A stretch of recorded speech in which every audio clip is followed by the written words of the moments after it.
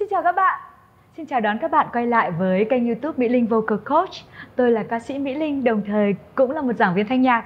Và hôm nay tôi rất vui được trở lại với một video clip chia sẻ về một vấn đề mà rất nhiều các bạn quan tâm. Thì có rất là nhiều các câu hỏi về kỹ thuật hát giọng óc hay còn gọi là head voice hay là giọng gió vân vân đó. À, thì tôi đã nhận được rất là nhiều các câu hỏi về vấn đề này và hôm nay trong khuôn khổ của video clip này chúng ta sẽ bàn về giọng óc hay là về head voice. Nào, bây giờ thì chúng ta cùng bắt đầu nhé.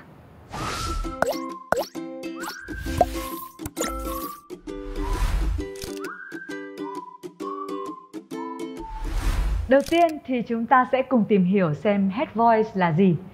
Vâng, head voice hay còn gọi là giọng óc đó là được mô tả như là một âm thanh được vang lên tạo cảm giác rung động cho người hát ở vùng đầu hay nói một cách khác là vùng hộp sọ nó không giống như âm thanh được vang ra từ ngực đó là âm thanh mà mỹ linh đang nói chuyện với các bạn đây à, khi mà hát một cái âm thanh từ ngực ví dụ như à, thì nó cảm giác rung động ở phần ngực của chúng ta nhưng ở giọng óc thì nó được cảm giác nó rung động ở phần hộp sọ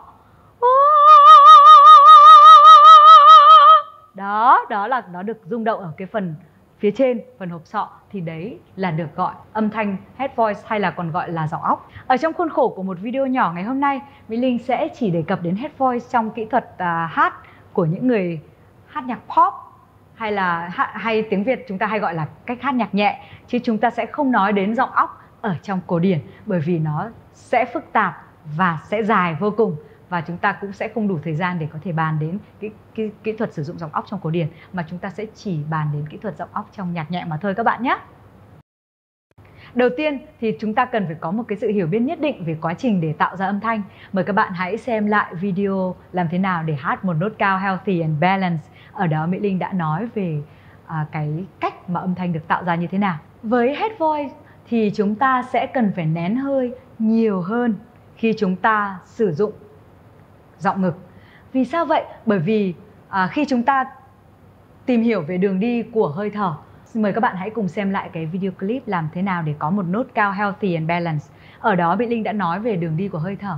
Khi hơi thở được lấy vào qua mũi hoặc miệng, chúng ta ngáp, lấy vào và được nén ở cơ hoành thì khi nó phát ra, nó thở ra qua cái dây thanh quản để tạo ra âm thanh thì khi chúng ta sử dụng head voice có nghĩa là chúng ta sẽ tạo nên cái sự rung động ở trên phần hộp sọ của mình. Có nghĩa là đường đi của hơi thở của chúng ta sẽ dài hơn. Nó sẽ cần phải được nén và đưa lên phía trên này. Nén thật chặt ở phía cơ hoành và đưa lên ở phía trên để tạo nên một cái rung động ở tận phía trên hộp sọ. Như vậy là chúng ta cần phải nén hơi rất là sâu ở cái phần cơ hoành. Và khi cái hơi thở của chúng ta được nén sâu như vậy thì sẽ có một số những cái cơ à, đặc biệt nằm ở bên cạnh hai cái bên dây thanh đới này nó sẽ phải kéo giãn hơn so với bình thường.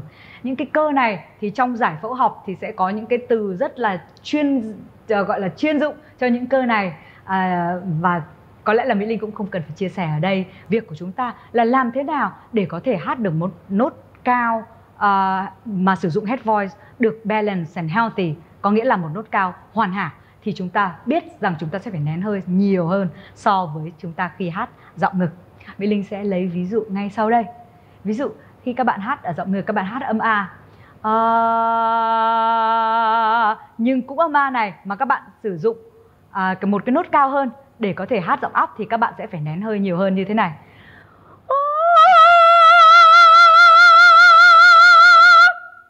Đó, nếu mà các bạn đang ở đây và ở cạnh Mỹ Linh à, thường Mỹ Linh sẽ hay cho học sinh của mình thử đặt tay vào bụng để xem khi cô hát nốt cao thì bụng cô hoạt động thế nào thì các bạn sẽ thấy rằng cái cơ hoành của Mỹ Linh căng hơn rất nhiều khi hát cái nốt thấp ở cái vùng ngực Bây giờ thì chúng ta sẽ cần tập luyện thế nào để chúng ta có thể có được một cái giọng óc mà à, rất là nhiều người đang à, quan tâm và mong muốn. Thì điều đầu tiên là các bạn phải tập để cảm nhận cái âm thanh của head voice nó như thế nào. À, để cảm nhận điều này thì các bạn hãy thử bằng cách à, nghe thấy âm thanh khi mình ngáp ấy thì nó vang ra âm thanh gì ví dụ như mình ngáp à, à, thì đấy chính là head voice đấy các bạn ạ các bạn hãy tập cảm nhận âm thanh này bằng cách ngáp các bạn nhé. Bước 2, chúng ta sẽ tập để à, tư duy kiểm soát cái đường đi của hơi thở và đường đi của âm thanh. Nào, các bạn hãy nhắm mắt lại, hít hơi. Sau đó thư giãn. Và bắt đầu hát một cái nốt cao để có thể sử dụng head voice.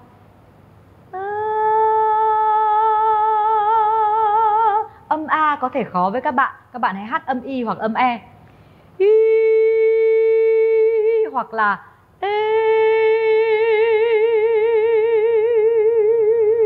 hãy kiểm soát xem đường đi của âm thanh của chúng ta như thế nào, vang lên ở chỗ nào thì nó ra được cái âm thanh head voice như vậy. Đấy chính là bước thứ hai. Bước 3, các bạn hãy lưu ý về khẩu hình, cả khẩu hình bên trong và khẩu hình bên ngoài. Thế nào là khẩu hình bên trong và thế nào là khẩu hình bên ngoài? Khẩu hình bên ngoài là rất là rõ các bạn có thể nhìn thấy khi ta mở miệng thì là miệng chúng ta mở rộng và môi của chúng ta, hàm chúng ta há mở rộng. Nhưng khẩu hình bên trong đó là chúng ta phải tạo ra được một cái khoang rộng giữa hai hàm trên và hàm dưới. Thì các bạn phải tập làm sao để cái lưỡi các bạn đè xuống. Bình thường một số người khi hát các bạn ấy sẽ để cái lưỡi cong lên như này. Làm cho cái khẩu hình bên trong nó rất bị hẹp. Cái lưỡi nó cong lên và làm cho cái phần giữa hàm trên và hàm dưới nó trở nên hẹp. Nhưng nếu các bạn đè lưỡi xuống thả lỏng cái đáy họng của mình á cái đáy lưỡi á, gốc lưỡi á, như thế này thì các bạn đang có một khẩu hình bên trong rất là đẹp và rộng. Để các bạn có thể nén nhiều âm thanh và âm thanh nó sẽ cần phải nén à, sâu và nó cần phải có một cái độ rộng để nó có thể vang nó xoáy để tạo ra cái âm thanh xoáy đủ để lên đến cái phần hộp sọ của bạn để tạo ra một cái head voice thật là hoàn hảo. Thế thì để tập cái à, khẩu hình bên ngoài và bên trong như thế này thì với khẩu hình bên ngoài thì các bạn dễ rồi i e a o u chắc là không cần phải nói lại, nhưng với khẩu hình bên trong thì mỹ linh khuyên các bạn hãy không mở miệng nhưng vẫn hát được ra các nguyên âm i e a, o, u. Như thế này. I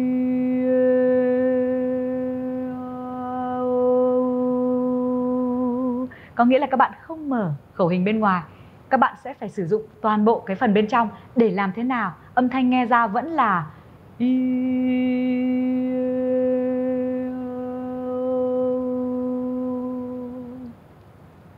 đấy là cách mà các bạn tập luyện để có được khẩu hình bên trong mềm mại và thả lỏng. Đủ một cái khoang rộng cho phần chúng ta sẽ tập head voice sau này. Vậy là ba bước rồi. Bước thứ bốn là gì? Hãy tập bằng các nguyên âm đặc thù cho head voice. Với những nguyên âm với độ mở rộng, ví dụ như a hay là o, thì với những người mới tập luyện head voice sẽ là rất khó. Với mỹ linh thì tập nhiều năm rồi thì có thể hát được thì dễ. Nhưng với các bạn, ngay khi các bạn bắt đầu tập mà tập ngay nguyên âm A hoặc nguyên âm O, có thể sẽ tạo thành những thách thức. Thế nên, khuyên các bạn hãy tập nguyên âm Y hoặc là các nguyên âm đóng. Ví dụ như là đó um, um là một nguyên âm có thể tử để tập head voice hoặc là và một cái âm rất là dễ để các bạn có thể tập head voice là hu hui hu hui hui hu hui hu hu hui nhưng với các bạn mới tập thì tập từ thấp lên cao, ngay cả với âm y và âm u là âm rất thuận lợi cho head voice. Thì cũng vẫn là rất khó, nên các bạn hãy tập từ trên cao xuống. Ví dụ như là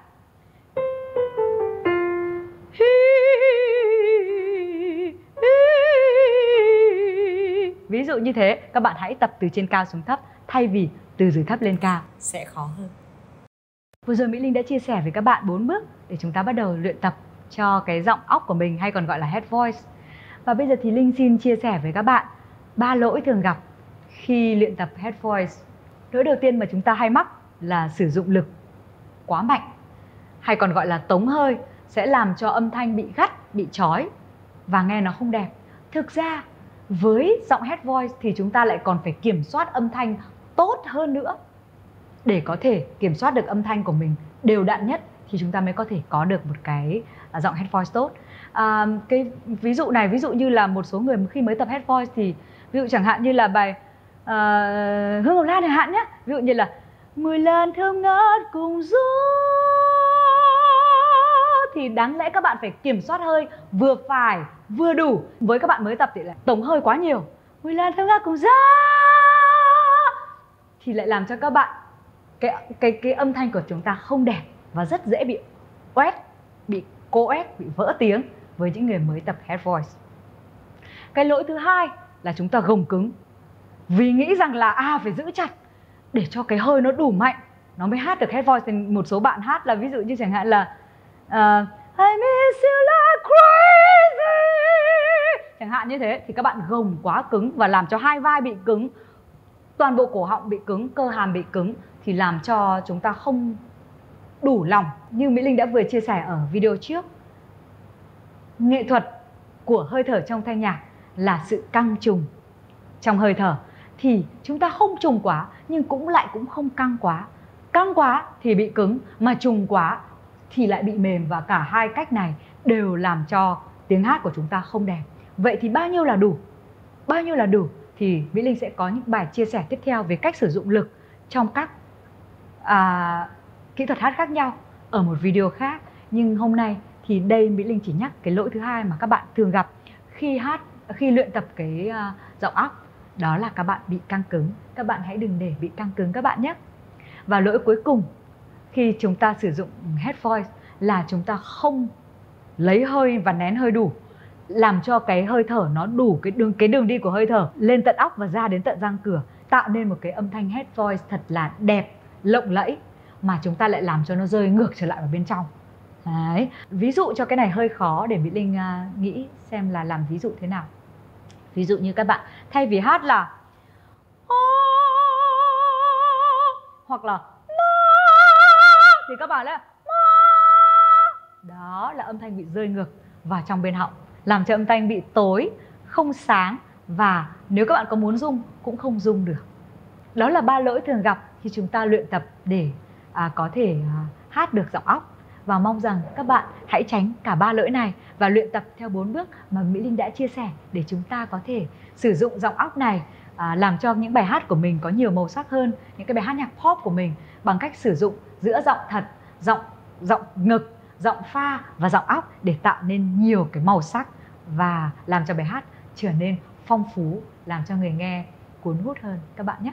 Và vừa rồi Mỹ Linh đã chia sẻ với các bạn à, cách mà chúng ta thực hiện bốn bước luyện tập để có thể có được head voice tốt và ba lỗi thường gặp mà những người mới tập luyện giọng óc hay mắc phải và bây giờ các bạn hãy chăm tập luyện để chúng ta có thể làm cho giọng hát của mình trở nên điêu luyện hơn và sử dụng được head voice thật thành thạo các bạn nhé và nếu các bạn cảm thấy video này bổ ích và mang lại nhiều uh, niềm vui cho các bạn thì đừng quên like và chia sẻ nó và hãy đừng quên nhấn nút theo dõi kênh để luôn luôn theo dõi được những video clip mới mà Mỹ Linh cùng ekip của mình chia sẻ những kỹ thuật thanh nhạc cho các bạn nhé.